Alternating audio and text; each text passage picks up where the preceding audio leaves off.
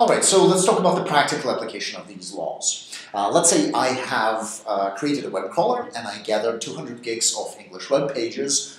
What do these laws allow me to guess about the text that I've gathered? And specifically, I'm gathering text because I want to build a search engine. So what do I know, what can I guess about the index size using the laws that we just talked about?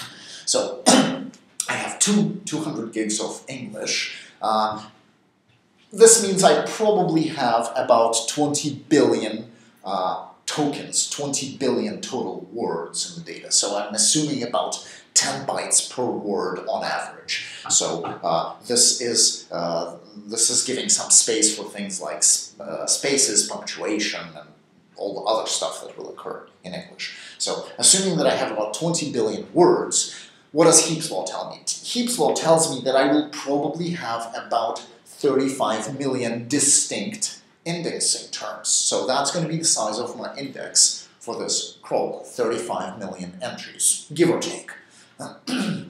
that's assuming I know the constants of my, assuming I fit them somehow, right? So uh, what else do I know? From Zipf's law, I have some interesting observations. So for example, out of those 35 million distinct index entries, about half of them will have only one entry. Half the words occur once. That's the direct consequence of Zipf's law. So I know that half, 17 million entries will be singletons.